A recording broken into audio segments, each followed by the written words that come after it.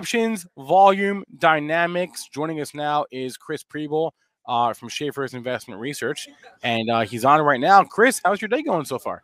Pretty good, Spencer. How are you today? Doing great, doing great. I see we have your charts. I'm going to bring them up on the screen for us, and uh, we'll we'll we'll run them for you. And the floor is yours. All right. I I enjoyed Chris Capri's uh, presentation very much. You share that with him. Um, my name is Chris Prybal.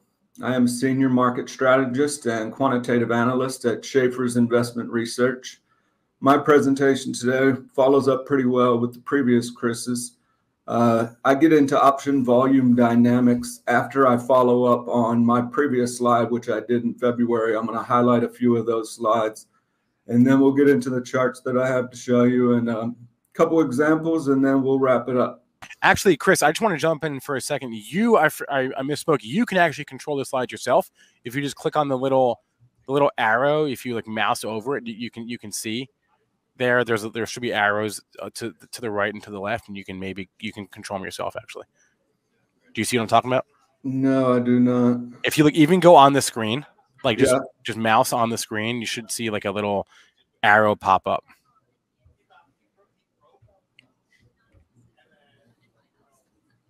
no you're not seeing when i'm like if you like mouse over like the, the, the video player not seeing that when i mouse over the the screen. I'm on the presentation. Oh, you're only on one screen? On the side, I can see you and myself split. Okay. Uh, within the studio, see see where see, do you see how it has your your slides shared like uh, on in the little box? Or no, I don't know how much screen space you have available. I got it full screen now. Full screen. Okay. Yeah, I got the banner if, running if, at the you, bottom. If you go full screen, yeah, right, right above the banner. See if you can mouse over that. I don't know if it'll work for you because you're on full screen. It may not. In that, in that, if that's the case, I'll just I'll run the slides for you. Well, when the banner drops, there is a. I don't know if it's stopped though. I don't want to stop it. Oh, Spencer. All right, it, it, it's easier for me to run it, so I'll, I'll just run the slides for you and uh, keep on going. All right, so if you're not familiar with Schaeffer's Investment Research, we have been in option trading business for 41 years. We're celebrating our 40, 41st this year. Schaeffer's is known for expectational analysis. What that is, Bernie set this up Back then, it's the combination of technical analysis with fundamental analysis, and then we layer in sentiment analysis. And we combine the three for the best overall picture of security or an index or sector. Um, Bernie was a pioneer of options trading and published the Option Advisor newsletter, which pretty much was the first analysis of the options market for the masses, for the mass public. And uh, one of our latest services here at Schaeffer's that I'm excited to promote is the Schaeffer's Playbook of the Week. Uh, you'll get this every Monday morning. Uh, 8:30 a.m. It's a live trading event to get you geared up for the week. It's a great summation of the weekend news um, and the way we analyze that. You get a quick review of last week's trading activity, highs and lows, examples there, our current market outlook, specific sectors we're watching closely, the presenter Brian Sapp. He does a good job of of combining the sentiment and the technical analysis on those charts. Uh, it's a primer for our EA expectational analysis to uncover the most profitable trades. It's also a deep dive into equity from our watch list for that week. And then there's a Q&A session at all times so you can type in, uh, ask questions, uh, and then we wrap it up before the market opens so that you're fully prepared. It is a service where we have only a, a set number of subscribers that we'll allow into it. It is a very exclusive service. Uh, you may enjoy it, you may not, but I have I'd like to point that out to you. I'm ready for the next one. All right, getting back to last February, mid-February, I presented for Benzinga. And I don't know what happened there, Spencer. I'm on full screen here.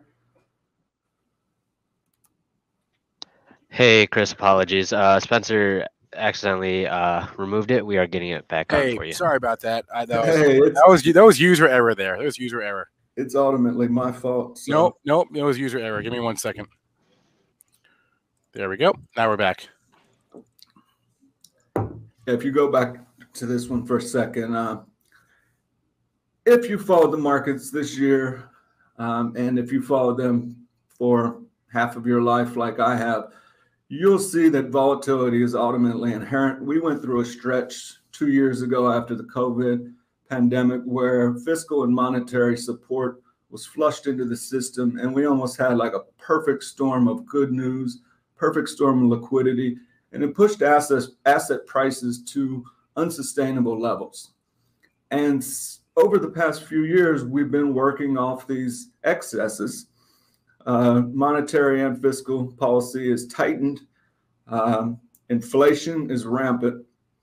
And markets by nature being circular in nature, I see cycles everywhere I look on every chart or every uh, inflation gauge. They go up and they go down. This is nothing new. Equities do this. Inflation does this. Uh, seasonal patterns, the tides of the ocean. Fashion industry goes up and has downs. Music industry changes over time, etc. All cycles. Night follows day. Humankind has followed celestial, ob- celestial objects and cycles since antiquity, whether to predict rainfall totals, timing of wars, or for financial gains which leads me to my next slide that I highlighted last time about the eight year Venus cycle. Now, the eight year Venus cycle, I didn't properly attribute this last time, Spencer. The eight year Venus cycle, the first time I picked up on this, I read about it. It was first proposed in 1921 by a Columbia University professor named H.L. Moore. He was the first one that wrote about the Venus cycle.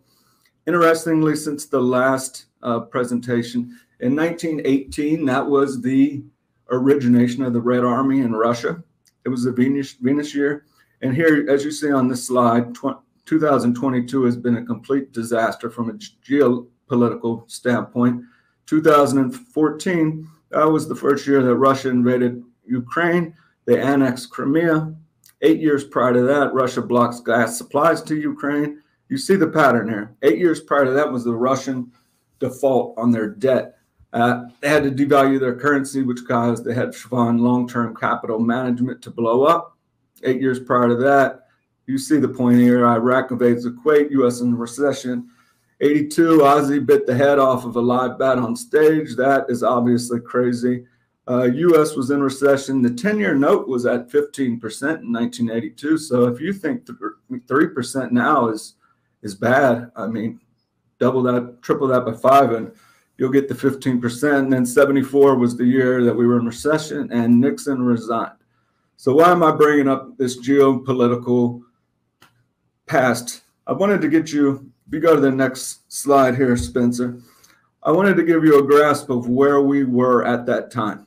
This was mid February. Uh, we were at 438 on the SPY.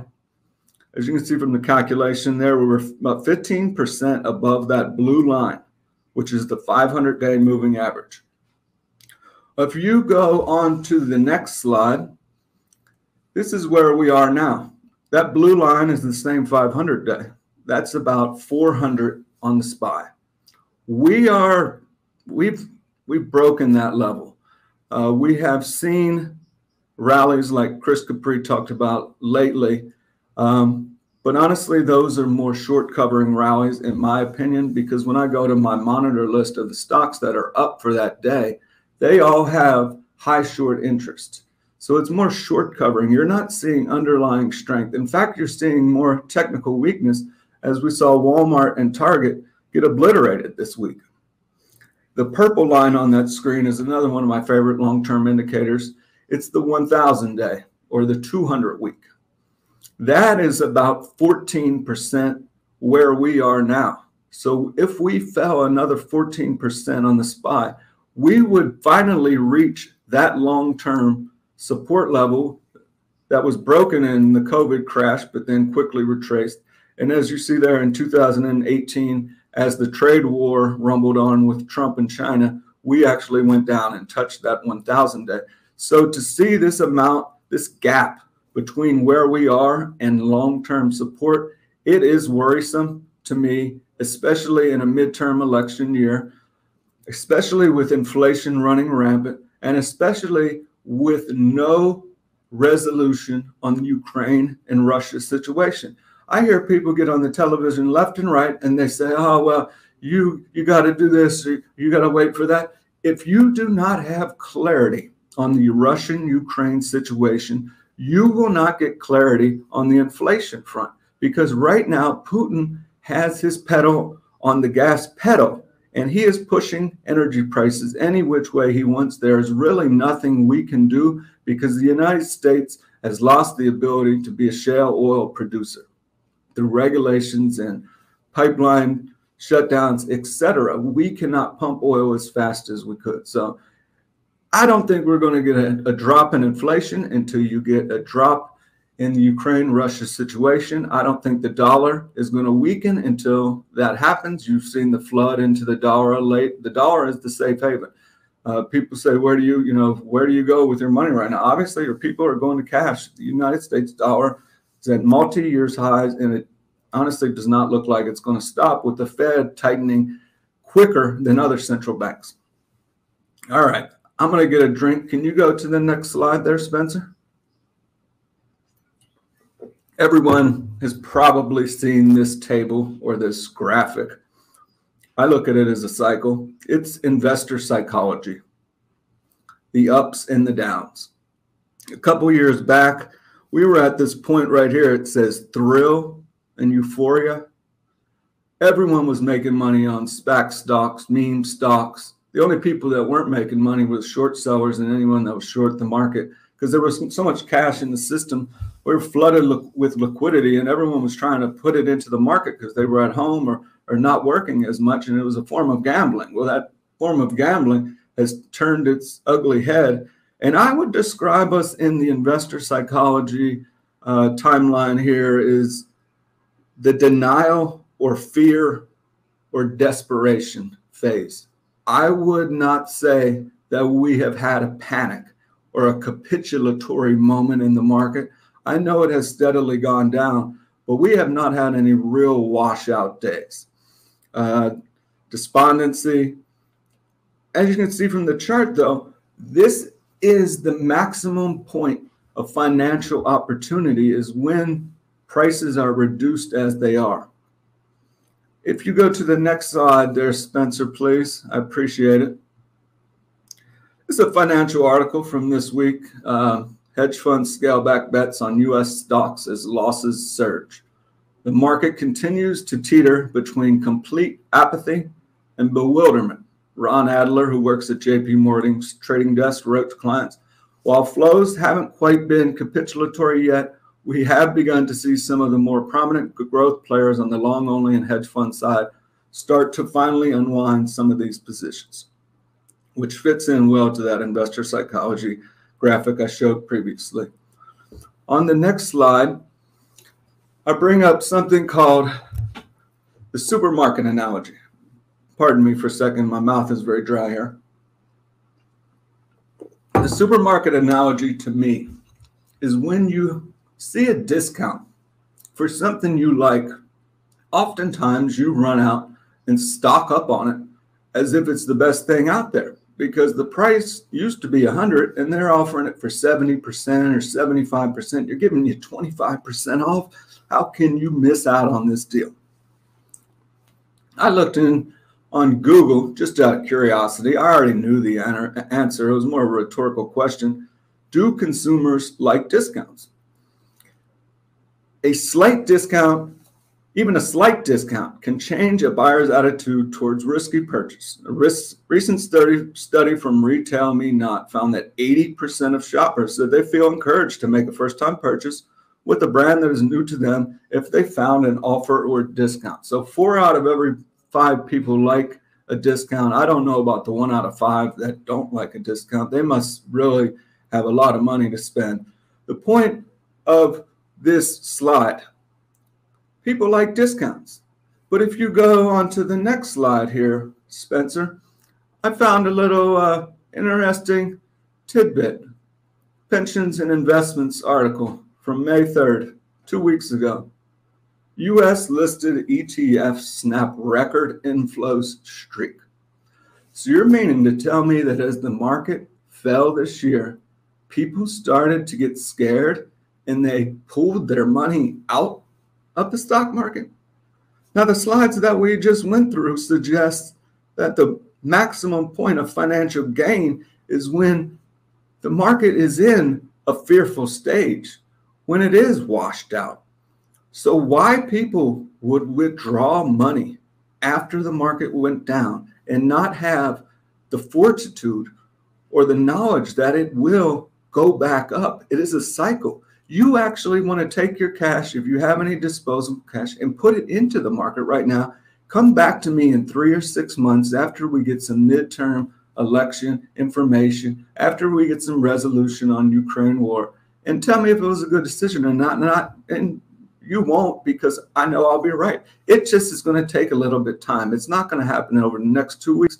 It may not happen over the next month or two, but three, six, 12 months out, you are those investments you make now will pay off.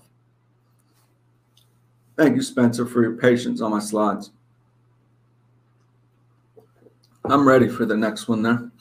So let's get into this option volume dynamics we at Schaeffer's were blessed. We have a, a lot of data sources. One of my favorites is the combination of three different option exchanges. We get buy to open and sell to open data on different baskets, security size, whether they're large or small, and what type of client it is. We combine those together in, into one uh, indicator for different sorts of stocks or equities. Um, the, three exchanges are the NYSE, the NASDAQ OMX, and the, the Philly Exchange, PHLX. On this screen here, I detailed since the beginning of 2020, the top line, the top light blue line is the S&P 500 of SPY. The bottom line is retail option volume. Actually, this is going back to 2016. So you can see a steady increase, but nothing really dramatic until you get into about 2019. There's that first blip. Then it comes down 2020. You can see the COVID bottom. And then as the government flooded everyone's accounts with money, people started trading options at a very ha- healthy clip. Um, since the middle, uh, the beginning of 2021, we have seen a decline in option volume from that peak. Now, these are buy to open, equity only, daily call volume plotted over time. And as you can see, any real spikes in call volume, call buying, it's more indicative of the uh, the euphoria in the market. When you got a lot of people rushing to buy calls, you really need to scratch your head and say, uh, is this a top or why are they buying so many calls? Because from the point of maximum financial gain, you you kind of want a situation where people are rushing to buy puts, not calls. If you go to the next slide, I have a ratio. Again, this is the S&P on the one, and then the, the ratio that spikes up to the right. It's a put call ratio, a 10-day put call ratio volume on all optionable stocks. So we got like 3,200 tickers here. And as you can see from this chart, that put to call volume ratio has not taken out the 2020 COVID highs. It has not taken out the 2008 trade war highs. So what I'm trying to tell you is as bad as it's been this year, we have not seen a flush out from the option volume marketplace. That would, in my opinion, be that capitulatory moment where you can say all clear. Now, we don't have any resolution on the Ukraine situation either. So I can understand why we haven't had the flush out yet. There are a lot of people that are still trying to pick bottoms. I track weekly open interest changes here at Schaeffer's using some data from Trade Alert. And I've it's struck me as odd that over the weekly time frame, you will have more SPY and QQQ call ads than you will have put ads. That's highly unusual when the market's tanking. You really don't get a lot of bottom picking when the market's tanking. You get the flush. You need the flush before we stop going, start going up. And I know the price action today. I don't know how much the Dow is down right now. It was down 750 points, erasing Monday and Tuesday's gains. Um, so that's exemplary of what I'm talking about here. We still have not had that flush out. I'm ready for the next one there, Spence. In this chart, it's the the orange line is the S&P 500 components. Every every one of the stocks that trades equity, we combined all that data into one indicator. It's a 10-day buy to open, uh, put to call ratio. The blue line is the S&P 500. As you can see here on the S&P 500 stocks, cumulatively, we have not taken out that COVID extreme. However, the reading that you see on the far right is is pretty elevated. Uh, short covering rallies would not be surprising considering the the breadth of this, how put heavy we have become. You know, it's still not over the top, but as you can see from the the troughs in this in this ratio in the orange line, think of the troughs as when the market was call heavy on these S&P stocks. And as you see, it's not perfectly consistent, but those troughs over time have marked peaks in the market. It's something we look at here at Schaeffer's, you know, whether people are being put heavy, call heavy, to what extent, and how is price action doing amidst that trading activity. On the next slide here, I believe I have the NDX, which is the NASDAQ 100 components, their buy to open put call ratio. And as you can see, that ratio has, in fact, taken out the COVID lows. This makes me more constructive on large cap tech. Uh, their earnings are solid. They have enormous amounts of cash on the balance sheets. They refinanced their debts when interest rates were low, so they're not prone to these interest rate hikes as some other companies could be. Uh, so you can see people flocking to puts on those NASDAQ 100 stocks. Uh, there's two ways to look at a flood at a, at a run of puts on an equity or on an index. A lot of hedge funds like to be hedged, hence their name. So they'll buy stocks and then hedge with puts. So you do see increases in the put to call volume ratio at times by hedge funds. And it suggests to us that maybe they're accumulating shares uh, but you're really you're, you're just not seeing it in the price action yet. But it is evident from this chart. Same deal with with lows in this indicator. It's a it would be call heavy. So we're we're definitely not on a low on this indicator, which does make me feel better. However, like I said in previous slides, we haven't had that that flush yet. I'm ready for the next one. This same concept as the previous two slides, except I used the Russell 2000, the IWM. I combined all the optionable tickers with the help of my colleague Rocky White here in our QA department at Schaeffer's. He's very helpful with the coding. We combined all the optionable IWM stocks, and this is what the ratio in the orange looks like for the small caps. And the blue line is the IWM. You haven't had a flush in the small caps. Uh, nothing near the 2020 flush or even previously to that, the uh, trade war. Uh, my takeaway from this is that inflationary concerns are probably going to hurt small caps more so. Uh, in addition to that, small caps are more sensitive to the increases in the interest rates. They may not have refinanced. They may not have the cash balance sheets that large corporations have.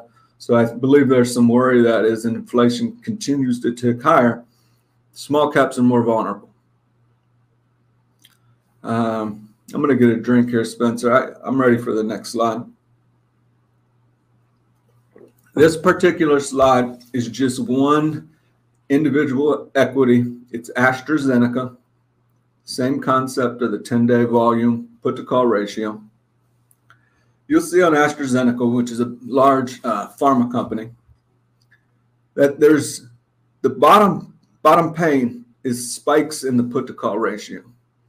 And you'll see at that March 2020 spike, obviously the market bottomed out there. So AZN went up afterwards. But there have been other spikes where you've seen an increased interest in put buying, and that has marked a low in the stock.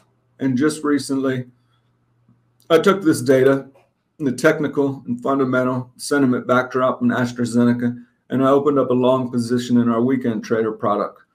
Um, I like AstraZeneca here, despite the market's hiccups. Uh, you've got various indicators suggesting it's a good time to buy. So I wanted to lay that out there. I know you like picks, Spencer. Uh, there's one one for me right now. I believe the the next chart. How are we looking at on time?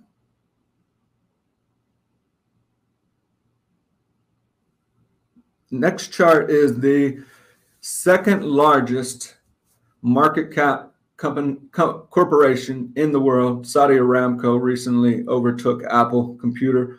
But I wanted to de- detail what this 10 day put to call ratio looks like on a large company like Apple. And then follow up and show, you know, times when there's a rush to puts. Seems to be the time when Apple bottoms out. Low capitulatory moment. We're the ratio is pretty high on Apple right now. Um, it goes back to the previous slide on large cap tech um, being more supportive than the small caps. And again, you can see lows in this ratio or times that call buyers were very active. Uh, it marked short term tops or uh, periods when Apple didn't advance as rapidly as when this put to call ratio was high. So I wanted to point out to the listeners a couple of the indicators that Schaeffer's has here and the way we apply it to price action, provide some details. On this next slide, one of my favorites.